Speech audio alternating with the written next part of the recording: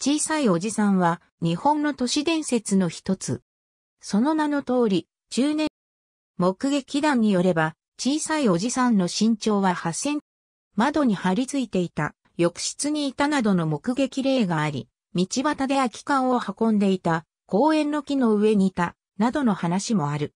ウェブサイトでも小さいおじさんに関する掲示板や投稿コーナーが設置されている。大宮八幡宮都市伝説の語りで知られる関明夫が2009年3月15日にテレビ番組やりすぎ工事で関東中央の神社の参拝者に要請がついてくると話し、小さいおじさんを目撃したという口実の俳優、的場浩二も同神社によく足を運ぶ胸の発言をして以来、番組中では神社の名がカットされていたものの、東京都の中央に位置する神社である杉並区の大宮八幡宮を小さいおじさんの住処とする噂が多く、番組放映直後の3月の連休には、例年の倍以上の参拝者が殺到しており、それ以降も徐々に参拝者が増えている。2010年には、キャラクターグッズとして、携帯ストラップ、幸せを呼ぶ小さいおじさんが発売され、小さいおじさんを目撃すると小さなし。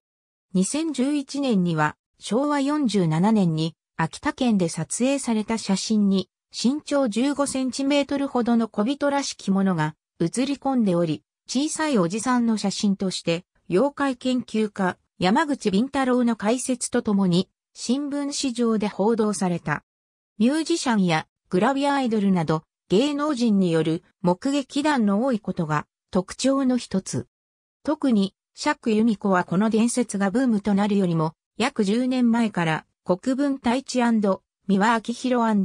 江原刑事のオーラの泉などで、小さいおじさんの姿の妖精を見たと語っていた。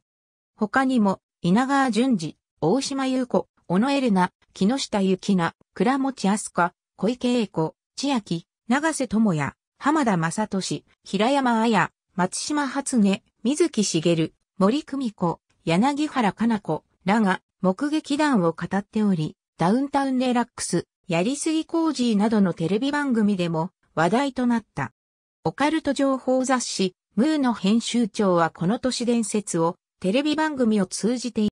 妖精、カッパ、妖怪、幽霊、宇宙人といった何らかの未確認生物の可能性はあるが、実際には肉体及び精神的な疲労などを原因とする幻覚と指摘されている。その根拠として、目撃談の大半が就寝中、または夜中であること、小人の幻覚の話を精神科医が頻繁に聞かされていることが挙げられる。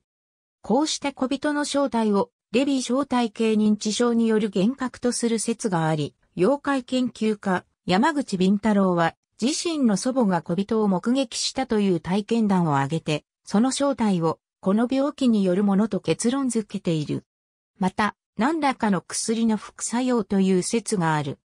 他に、ハゲ頭が光って見えるというイメージから、単に虫を見間違えたとの指摘がある。その一方で、コロポックルなど小人の伝説も実際に伝わっているため、一概に幻覚説によって、これらの小人を否定することはできないとの意見がある。ありがとうございます。